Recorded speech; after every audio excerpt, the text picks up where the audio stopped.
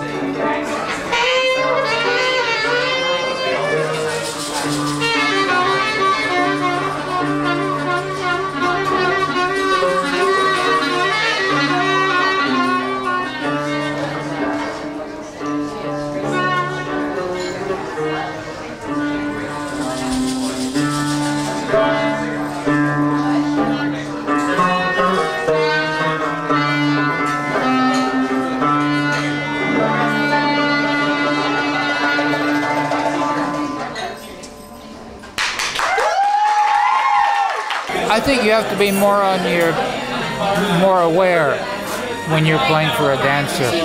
Yeah. When you're playing for a party, it's more or less loose. It's easier. It's easy. We play, you know, weddings and parties. We also play in, we played in some other restaurants. Uh, where? Uh, there was Marrakesh West and Mogador. We played in these places for quite a number of years, like Mogador, we played in about for 15 years, and Marrakesh West for three or four years. And we, we do a lot of traveling. You know, to Spain, Switzerland, Ireland, Italy, Turkey, Greece, Hawaii, California. Tell us about your ethnic background. Um, my parents are Armenian, they're from Turkey. I like playing for parties, I like playing for dances, I like playing at concerts. I like playing if there's two people in the audience, and I like if there's 1000s uh-huh. I love playing. What about dancers, say, playing zills as a musical instrument? Does it help? Oh, now you hit a sore spot. Most of them shouldn't be playing. I love dancers. Uh-huh. I love playing for dancers, but there are too many who play very poorly, and they don't right. realize that it happens to be an instrument that really sticks out.